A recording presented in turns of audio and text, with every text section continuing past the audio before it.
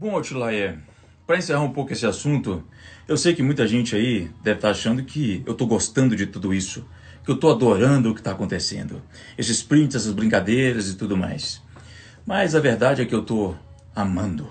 Claro que eu estou adorando tudo isso. Eu seria um hipócrita se dissesse para você que não estou. Eu sou humano e não estou aqui com a intenção de ficar pagando de santo a todo momento para você. Mas eu faço questão de ressaltar uma coisa. É muito difícil para mim, como ser humano inclusive, não deixar com que essa minha animosidade interfira nos prints que eu estou compartilhando aqui, porque eu poderia compartilhar diversas outras coisas que estão me mandando que não podem ser comprovadas a primeiro momento de pessoas que talvez estão sim querendo puxar o meu saco, ok? Denegrindo essa outra pessoa. Eu estou compartilhando só aquilo que eu tenho total tranquilidade para colocar aqui nos stories, esperando de braços cruzados alguém vir e refutar. Eu estou sendo completamente parcial com o que eu estou compartilhando aqui. Seria muito feio para mim ficar forçando a barra. Qualquer pessoa crítica veria isso muito rápido. Essa outra pessoa, esse pilantra, com certeza usaria de todo e qualquer artifício, todo e qualquer print disponível em suas mãos, inclusive até isso ele provavelmente cria, como já criou fakes para falar do meu produto, para denegrir a imagem de uma outra pessoa, que está mais em evidência que ela. Já que agora eu deixei isso muito bem claro, faço questão de falar com pessoas aqui que estão se perguntando até agora do porquê que é que eu estou gastando tanto tempo com isso. E para as pessoas também que estão chegando aqui hoje entenderem do porquê que eu estou falando de outra pessoa. Isso é feio. Inclusive, chega a ser até um pouco humilhante eu ficar falando dessa bosta. Essa pessoa já me provoca desde outubro do ano passado, com piadinhas, com acusações. E o que, que eu fiz? Fiquei calado. Eu não reajo a um primeiro ataque de um idiota, de um débil mental, de uma pessoa que tem problemas de cabeça e assume isso publicamente na internet. Eu tenho empatia, né? Vai que o cara é doido, tem uma deficiência. Mas ok, tudo bem. Continuei quieto na minha, sem procurar treta com ninguém, sem me achar maior que os outros, sem ficar dizendo em voz alta nos stories, como ele diz, que é o maior do Brasil, e blá blá blá, e não sabe subir a porra de uma conta de anúncio, sem inveja de ninguém, quieto, assim como você que inclusive possa ter até algum dia recebido algum conteúdo dele que tenha lhe ajudado, estava no início da sua carreira, quieto, sem precisar encher o saco de ninguém. Até que o retardado, débil mental, observa que, tendo muita inveja das minhas conquistas, eu dei baixa no meu CNPJ, ok? para abrir uma holding que vai entrar como sócia de todas as minhas outras empresas. Ele observa disso e faz o quê?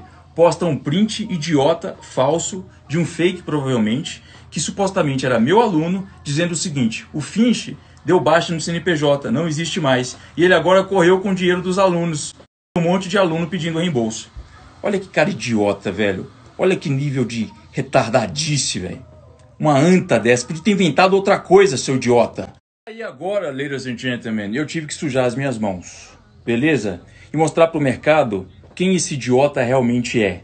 Se você um dia teve algum tipo de ajuda por ele e tudo mais, se você acha que ele é o justiceiro da internet, fica desmascarando pessoas do mal porque ele é do bem, se toca. O cara é bipolar e tem problema de cabeça, beleza? Eu sou um cara que, assim como você, foi pobre, andou de ônibus, mototáxi e nunca acordei um único dia na minha vida com a pergunta: quem é que eu vou enganar hoje até o final do dia?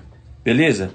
Esse cara aí que é um otário não merece vender um único produto mais na internet. E é por isso que eu tô aqui para desmascarar esse merda. O idiota tem muita inveja e fica com uma desculpa de que pessoas que não exibem suas fraquezas e tudo que já fizeram de ruim na vida são pessoas que têm algo a esconder. Cara, eu não sou sujo como você, ô seu merda, seu lixo. Se eu tivesse algo a esconder, eu estaria morrendo de medo agora nem aqui eu estaria. Esse idiota agora deve estar procurando alguma coisa real, né? Pra não ter que inventar de novo e passar vergonha. Otário. Pode procurar à vontade. Hoje eu vou dormir tão bem quanto eu dormi ontem. Vou falar um árabe ainda. Enquanto você está sendo aí desmascarado na internet. Mexeu com o cara errado. Porque eu não tenho nada a perder. Já que eu não tenho nada a esconder. Otário. Mexeu literalmente com o cara errado porque tem inveja e é uma criancinha de 12 anos mimada.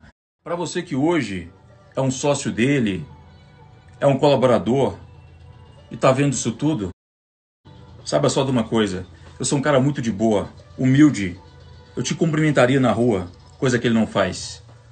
Eu tiraria uma foto com você, se você pedisse. Eu não te humilharia porque você tem menos dinheiro do que eu. Ok? Ah, mas ele não faz isso. Faz sim. Faz sim. Não minta para você mesmo. Sabe o que é o mais interessante aqui? O mais interessante é que nos últimos dois dias, até agora, dois ou três dias, sei lá, eu só tive uma única pessoa que veio aqui defender esse cara. Uma única pessoa. Em outras palavras, tá todo mundo, das milhares de pessoas que já passaram pelos conteúdos dele, somente observando ele apanhar. Todos calados, sem ajudar, sem fazer nada.